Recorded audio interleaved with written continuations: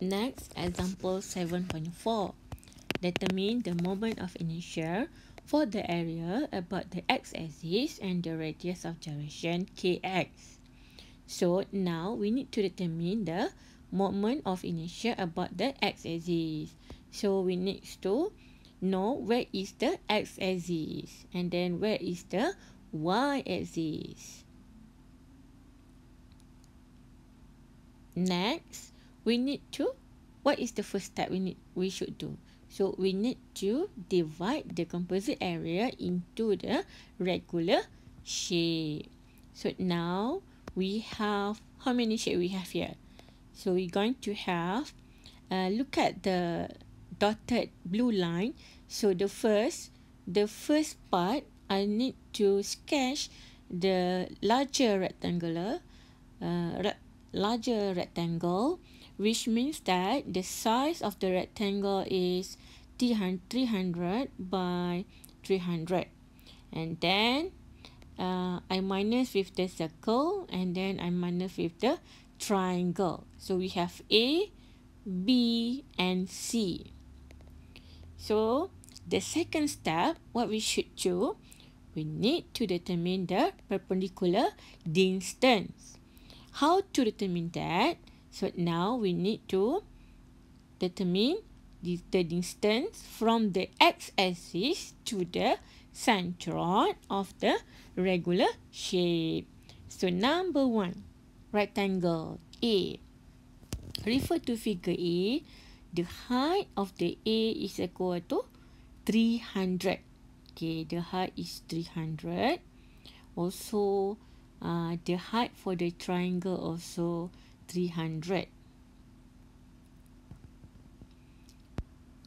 Okay, and then the height for the triangle is also 300.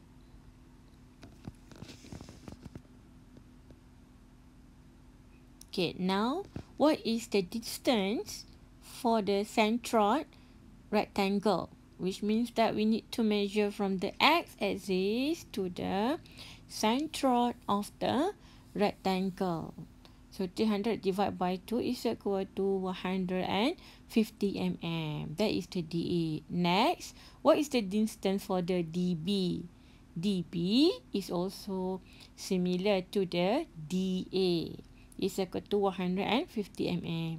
Next, what is the centroid of the triangle? So, you have studied before, you have learned before the centroid of the triangle is one third from the base. So now one third from the base, one third from the base. Okay, now one third from the 300 is equal to 100, right?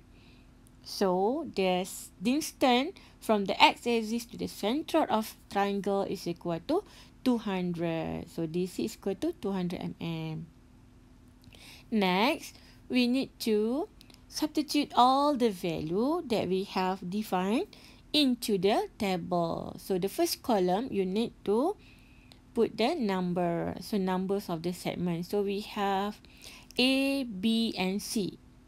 So here, you can sketch okay, the shape. So you have rectangle, circle and triangle. The next column, you need to determine what is the centroid of moment of inertia means that moment of inertia about the centroid where you can refer to the geometric properties. Next, you need to determine, uh, you need to substitute the distance.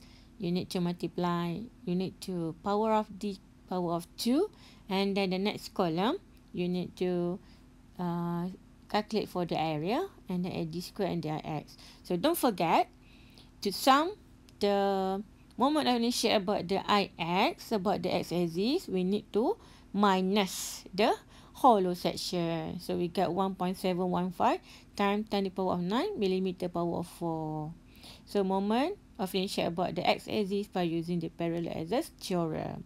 Next, I want you to do the second case. The second case, you can divide that, the rectangle into the size uh, which is uh, 200 by 300. Uh, So you cut into 200 and 300 and then you minus circle and then you plus with the triangle. So you will see what is the moment of inertia about the x-axis. Can you do that? Okay, next, we need to determine the radius of gyration. So, kx is equal to square root ix divided by a. a is the area. And then kx, so we have the moment of inertia and then we divide by the area.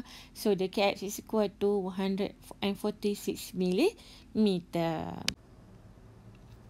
Next, example 7.5. So determine the moment of inertia for the area about the y-axis and the radius of gyration ky.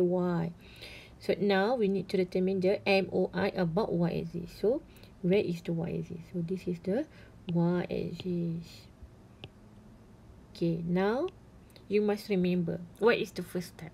So the first step definitely we need to divide that into regular shape. So next Okay, let's divide it into regular shape. What shape we have here? We have number one, A, we have rectangle. So, you can sketch the rectangle here. Okay, second, we have what? Semicircle. Because uh, this is the circle, right? Circle minus, so we left it minus here so circle and this is semicircle.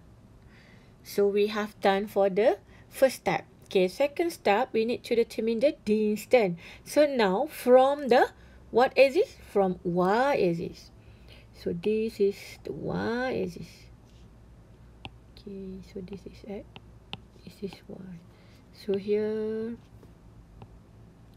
this is y and this is x this is y and this is x. Okay so now we need to measure from the y axis to the centroid of the regular shape from the y and the next also from the y to the centroid of the regular shape okay. For this case number uh, a a regular shape. So regular shape here we have 120 So 120 divided by 2. So 120 divided by 2 become 60. So DXA is 60. And then uh, second, the second uh, B. So B semicircle. So semicircle, what is the central of the semicircle? Uh, must remember 4R over 3 5. Uh, so this distance, this distance is, this distance is 4r over 3 pi. So you need to calculate. So r is given here what? So r is 40 mm. So we need to um, measure this distance. So what is the distance? So you may get the answer is DXB. XB is equal to 137. Okay. And then the last one, circle. So circle, uh, the centroid is the, what? At here. Centroid is here. So the centroid uh, is 120 from this to this one. 120. Okay, the next step, you need to put the value that we have determined into this table. So you must remember column number one. Okay, you need to sketch. So we have here A, B and C. So A is rectangle, B is semicircle, C is circle. Uh, so another part important that you need to minus the circle. So normally remember, eh, student always make mistake at this part, subtracting when we have follow hollow uh, area. Okay. So uh, the next column, you need to determine what is the centroid moment of area. And then uh, we, you have determined the dx and then dx squared area. And then you determine ad squared. And then the last one, you have to sum to get the I1. And then the last one, to sum of the parts that have been divided to get what is the IY. IY. So this is the IY. So IY is equal to 7.530 times 10 to the power of 7 millimeter 4. So you must remember uh, how to determine the semicircle moment of inertia. So you can refer to this geometry table because the geometry table give us what? Give us quarter circle. So now we want the entire semicircle. So what we should do? What we should do? Hmm. So we need to add. We need to multiply by 2. So when we multiply by 2, you will have this equation. Alright. Okay, so the last one is the radius of gyration for the K1. As usual, uh, KY is equal to square root IY divided by A. So A is given here and the IY is given here. And then KY is equal to 83.3 mm. Alright, that is all for today. Hope you can achieve the outcome of the lecture. Which number one, you should be able to identify okay what is the moment of inertia. And the number two you should be able to know how to apply the parallel axis theorem. Okay and the last one everyone should be able to determine or calculate the moment of inertia for the composite body. So please do the exercise and also answer all the quiz in column and then do all the tutorial. Okay see you for the next lecture. Bye